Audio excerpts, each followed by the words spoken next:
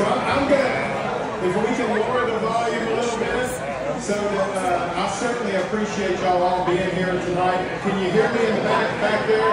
Because I want to make sure you can hear me.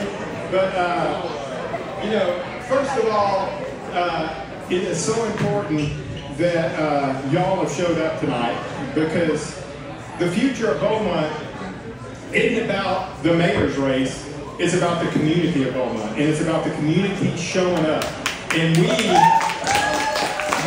we here in Southeast Texas, we are great. A matter of fact, when we have hurricanes and we have floods, you know, the national news reports on how we show up for one another. And so we, we know how to do that. And this right here, this right here isn't this, and as corny as this sounds, excuse me, uh, this isn't just about this moment, but look around at everybody here. This, to me, is about a movement. It's, a, it's about a movement about trust, about transparency. It's about togetherness.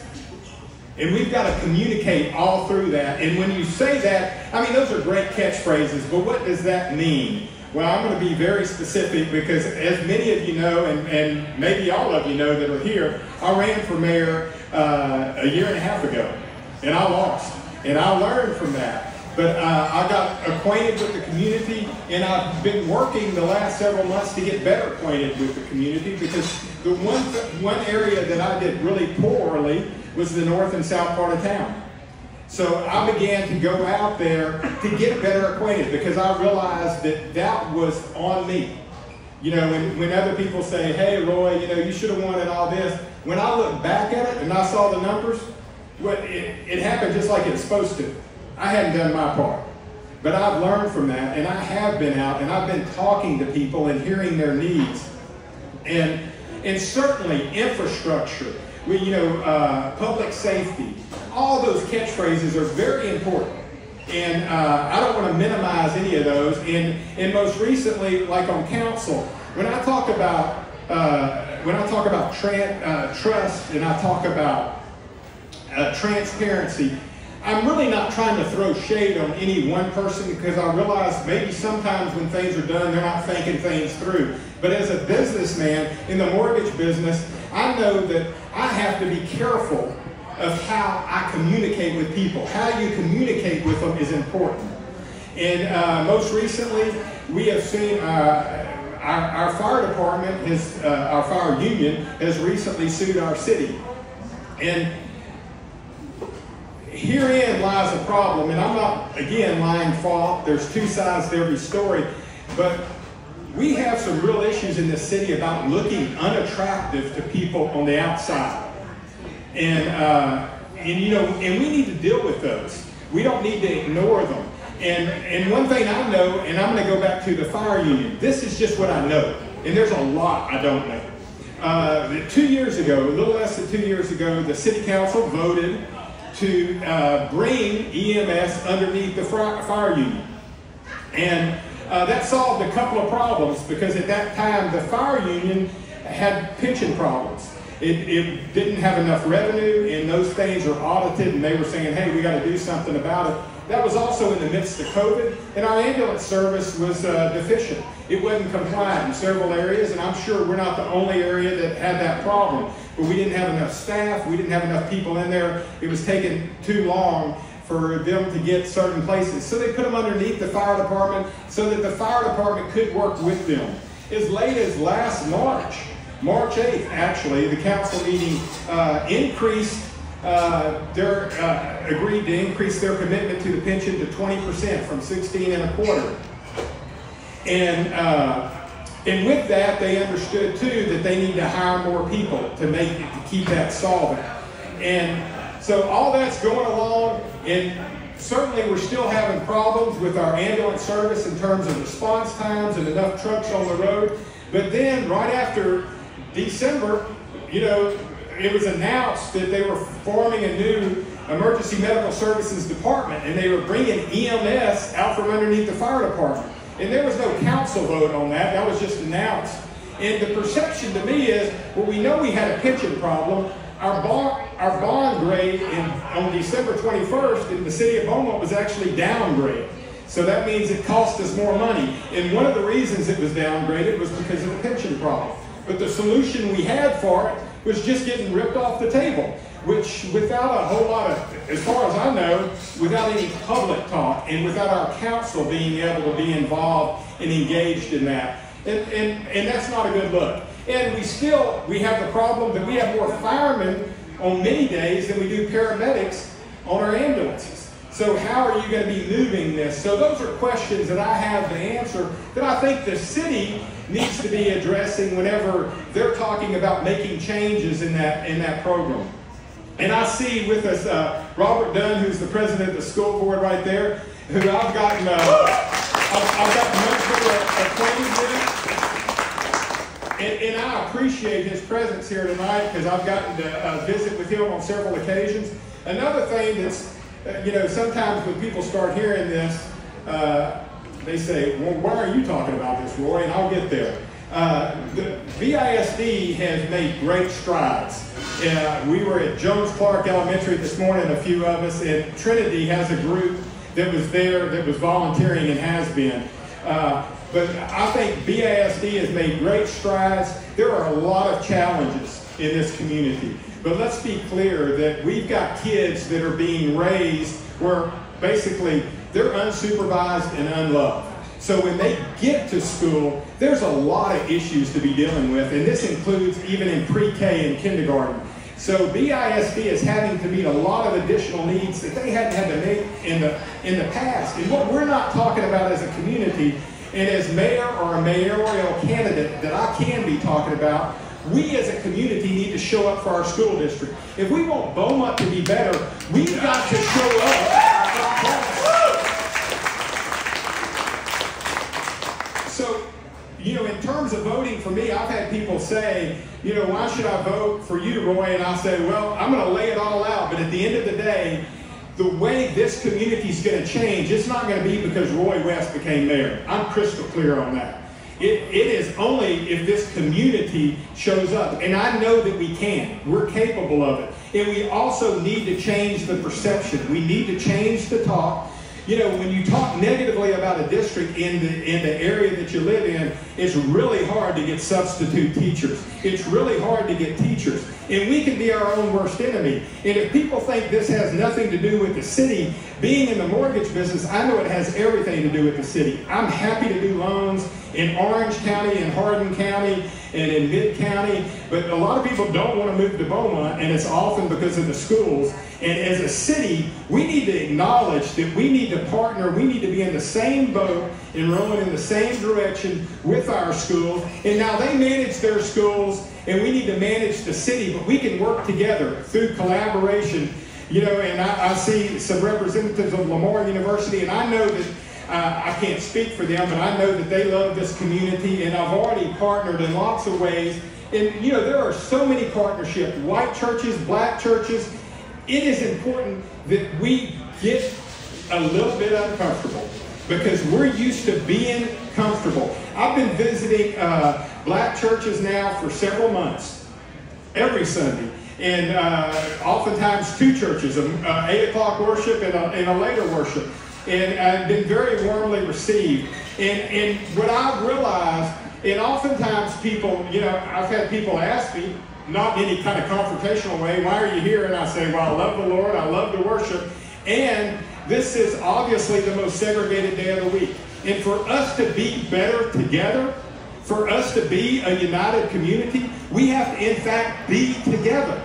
So that may not always happen organically, you know, sometimes it has to be artificial to push it forward. There's nothing wrong with that.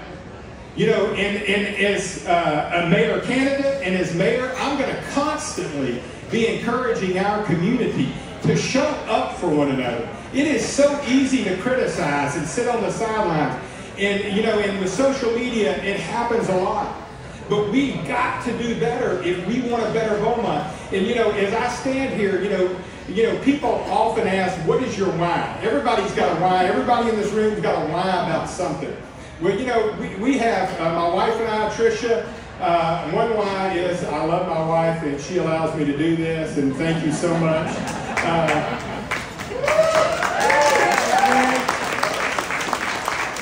and, we have, I don't even know where she, oh, there she is, video.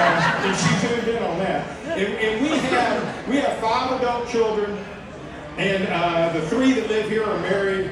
We've got eight grandchildren, six of which live here in this in this city, the city that I was born in, the city that I've gone to school. So, uh, and there's one of them right there, Emily.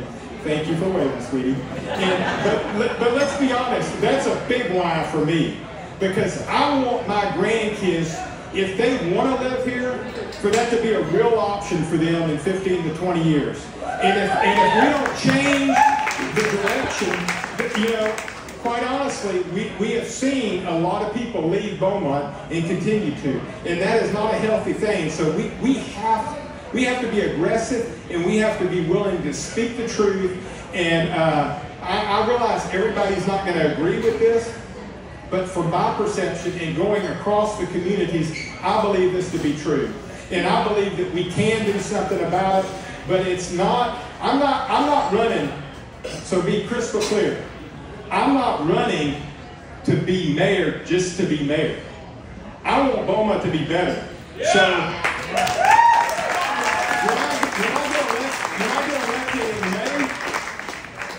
Y'all might all be tired of me two years later, and with that. Because I'm not going to be sitting there not worrying about ruffling feathers.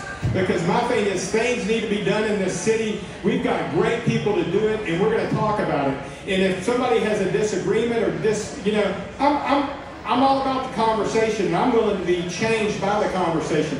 Quite frankly, that's what got me up here. You know, there's been a lot of changes of thought by having conversations and hearing concerns from, from the community. And another thing is, you know, I'm a business partner in three schools and I get to schools a lot. And I, will tell you, uh, and we can get uh, an amen from the Trinity volunteers, uh, a couple of which that I saw come in earlier, and they were at Jones Clark today when I went in there, or several of us went in there, is when you go into the schools, if you if you choose to volunteer at BISD makes it really easy. I'm not gonna I'm not gonna tell you it's it's easy. You just have to you have to fill out a form online, and uh, you're gonna want to go back. You know, you you may hear horror stories on social media about the BISD schools, but the truth of the matter, if you go in there, you're to find out the administrators and the teachers I, I believe they probably love teaching and love the kids every bit as much than when I was in school a few decades ago. And I'm not throwing shade on my, teachers, but I think to be there today, you have to love them more. Because it's hard. There's a lot of challenges. So, you know, I, I think acknowledging that and also, but I think there's great rewards too because these kids, they they need us. And and as citizens, we need them. And we need them to know they're important, that they're of value, that there is hope in their life. And for any of us that have ever been in a spot where we feel hopeless and we feel unappreciated, and unloved, that's a bad place to feel. And if you're five years old or eight years old or ten years old, that's that's worse. And our most violent offenders right now are juveniles. And, and, and that's because we've had this generation of kids that, you know, if you have no hope, they're not worried about going to prison. They're not worried about any of that because they hadn't, they hadn't known love and they hadn't known other options. But, but our city can do a lot about that. And, and certainly by supporting our law enforcement, by supporting our fire department, uh, you know, we just made four department head hires uh, recently since the budget was formed. And you know, again, I'm criticizing without all the information, and I'd love to have it all, and the city has the ability to push it out. So I'm ready. I'm ready to drink from the fountain of knowledge and get it. But you know, we've got two new assistant city managers, people that are promoted. We split parks and recreation. So now instead of that being one director, that's two directors. We've got a communication director. I'm not questioning the need for any of that. Okay, I, I'm not but what I am questioning is when you spend a lot more money and there's not salary studies done, Uh, and when you hire people that are making 200 or plus $200,000 a year and you don't have national searches, I think that's a mistake. I think for your other department heads, you know, you, if you want to build, uh, uh, if you want to build a good city, we have to have good city employees. You know, we, we have some employees, full-time employees that start at $10 an hour. And, we all know that's not a livable wage. Those, those people are receiving food stamps and other things, and yet we're going to criticize them when they're doing a poor job out there. You know, we need to examine all this, and you can't fix everything overnight, and certainly not expect them to do any of that, but address the issues, address the challenges, and develop a plan to do it.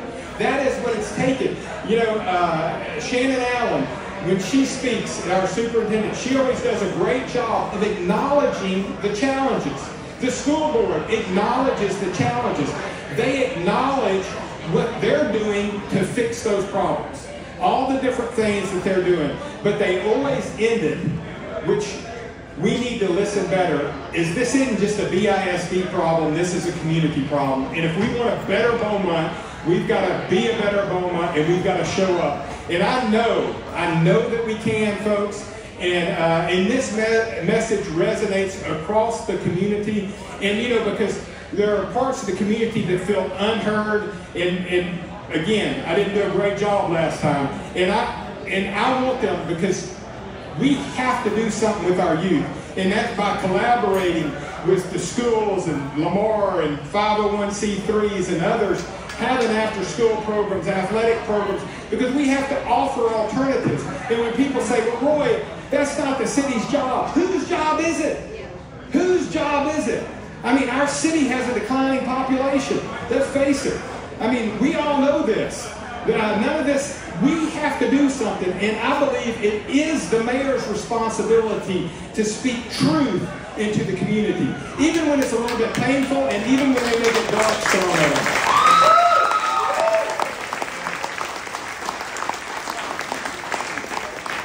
Well, I, I, could go on a long time, but I've already probably gone on too long. Uh, but my wife's got both her hands on her phone, so she can't do this. But uh, I want to make sure anybody takes a yard sign. It's first weekend in February is when you can post it. So, uh, you know, I appreciate that. Uh, you know, if anybody has questions, my cell phone's on the business card and my personal email's on that. Reach out. And sometimes people, you know, they reach out and say, well, I'm sorry to bother you. And I said, look, I invited myself to this party. You know, it is not a bother. You know, if I didn't want to hear from you, I shouldn't have run for mayor. So everybody, what they have to say is important, and I am listening, and I am, I want to be your ears because uh, that it's so important for us to change things. And you know, we we've got struggles, we've got, but we've got lots of opportunities. You know, we've got tens of billions of dollars of work in the next 10 years here in Jefferson County. I mean, to the tune of 68 to 80 billion dollars worth of work that has been announced, that has been licensed, that has been permitted. We have so many economic opportunities here. And now as a city, we need to rally because we need to be attractive to those that are coming into the area and let them know that, uh, that BISD is a great option and that we want you here in Beaumont. So, hey, thank y'all so much for being here tonight. And, uh, oh, and one more thing before I you know, I want evening meetings. I've been going to uh, neighborhood association meetings. And the reason I want evening council meetings is I go to all the neighborhood association meetings across this city. Guess when they are? In the evenings. So uh, it may be less convenient for some if we have them during the day, but I don't, I don't care if more people come or not. I want to be, I want them to be available to come, the majority. Because if you're inviting people to be a part of the process, you need to make it easy for them to do it. So I want that. The other thing I want is term limits. Because quite frankly, you know, uh, we have a city management form of government. So the city manager manages uh, the city. Now that doesn't mean the mayor and the council people can't say anything, and you can tell from what I've had to say tonight, I'm going to be talking. And uh, it may take four votes to get things done on council, but all it takes is me to decide to open my mouth to be able to talk. And I'm going to continue to talk because I think uh, we, I think there are areas that we can make great uh, great improvements on. And I think term limits are also important because I don't think people need to serve on our city council for a long period of time. I don't think there's real benefit in it. But I applaud y'all for being out here tonight, and I sure hope that uh, you can tell friends and encourage friends. And look, you know, sometimes people, everybody's not going to vote for me. I'm okay with that. I just want people to hear the message. I want them to decide not to vote based on what I'm saying. And, and we want people to turn out because uh, municipal elections, a lot of people just don't vote in those. And all politics are, uh, are local. They start here. And we know as our city that it's so important that we get people to show up to vote. And, uh, and we, I'll certainly respect the will, but I believe I feel certain that I have done the work to get elected this coming May, and I'm going to keep working hard.